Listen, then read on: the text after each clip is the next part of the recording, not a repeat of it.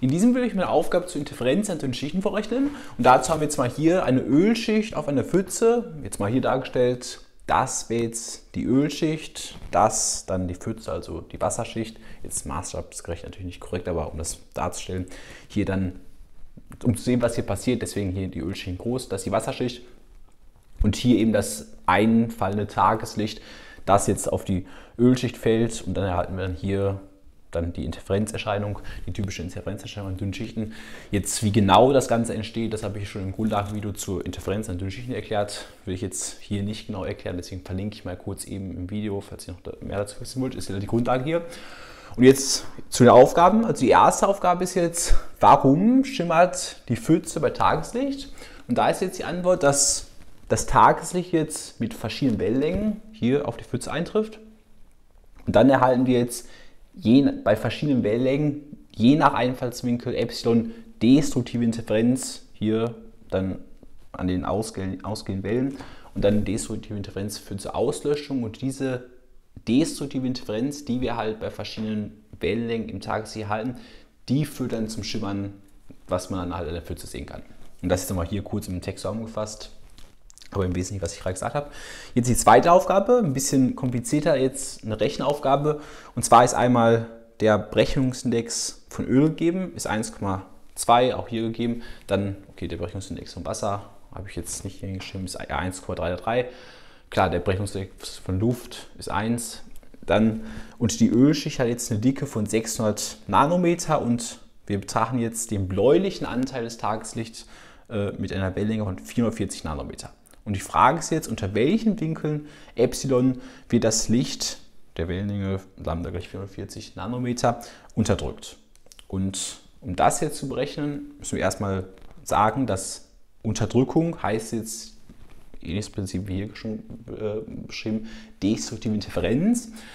Destruktive Interferenz, das ist die destruktive Interferenz, heißt, dass wir einen Gangunterschied von k minus 1,5 mal Lambda haben. Und jetzt dann mit k den gradzeitigen Werten 1, 2, 3 eingesetzt. Und jetzt um den Gangunterschied Delta S, also jetzt brauchen wir hier den speziellen Gangunterschied Delta S für diese Anordnung, um dann halt die Einfallswinkel zu brechen.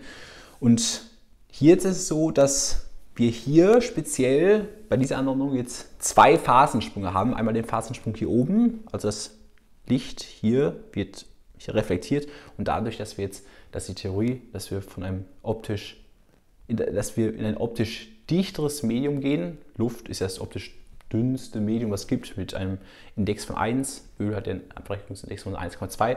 Deswegen haben wir hier schon mal eine Reflexion in ein, optisch, in ein optisch dichteres Medium und jetzt aber auch nochmal hier eine Reflexion am optisch dichteren Medium, weil jetzt ähm, der, der Brechungsindex von Wasser mit 1,33 größer ist als der Brechungsindex von Öl mit 1,2 und das jetzt die Theorie, wie gesagt, habe ich auch schon im Grundlagenvideo äh, erklärt, dadurch, das heißt jetzt, dass wir hier zwei Phasensprünge haben. Und wenn wir zwei Phasensprünge haben, dann ist die allgemeine Formel für den Gangunterschied Delta S 2d mal die Wurzel n Quadrat minus Sinus Epsilon 0 Quadrat. Im Video schon alles erklärt.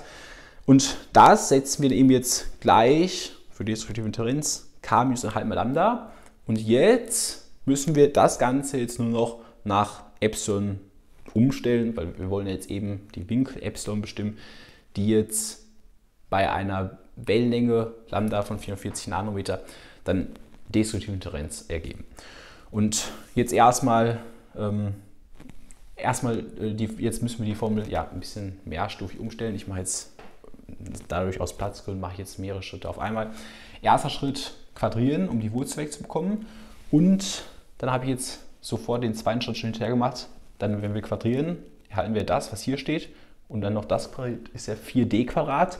Also direkt den zweiten Schritt hinterher durch 4d Quadrat ergibt dann das, was hier steht unter Wurzel, isoliert n Quadrat minus Sinus Epsilon Quadrat, Epsilon Quadrat gleich.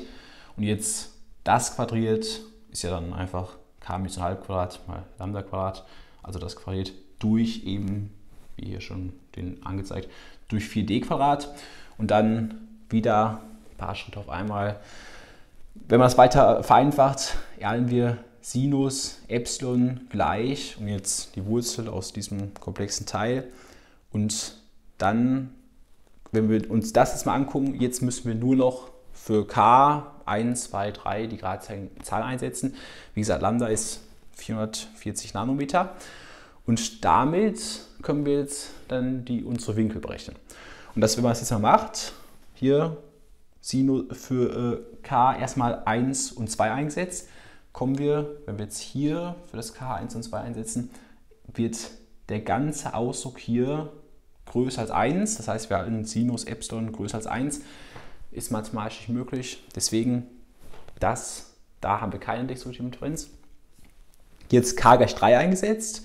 Hier eine 3 eingesetzt. Erhalten wir Sinus Epsilon gleich 0,7744. Davon können wir jetzt den Arcosinus bilden erhalten wir einen Winkel von 50,75 Grad. Das heißt, beim Winkel von 50, Einfallswinkel Epsilon von 50,75 Grad haben wir dann hier ausgehend destruktive Interferenz vom Lichtspektrum mit der Wellenlänge von 44 Nanometer. Also das wäre jetzt eine Lösung. Jetzt weiter 4 eingesetzt, wenn wir hier K 4 gleich 4 einsetzen, wird die ist das Problem jetzt, dass die ganze Wurzel oder das, was in der Wurzel steht, negativ wird. Wir dürfen keine Wurzel aus negativen Zahl ziehen, ist, ist damit auch nicht lösbar. Das heißt, für dieses spezielle Beispiel ist, haben wir nur eine Lösung bei k gleich 3. Das heißt, nur bei k gleich 3 ergibt sich dann der Winkel 50,7 Grad. Nur bei diesem Winkel haben wir dann destruktive Differenz. Jetzt bei ähnlichen Aufgaben mit anderen Wellenlängen, da haben wir auch oft mehrere Winkel, wo wir eine destruktive Differenz haben. Hier speziell nur ein Winkel mit, mit destruktiver Differenz. Das ist mal so eine typische Aufgabe, ein bisschen komplizierter, aber ja, das war es dann damit zu diesem Video.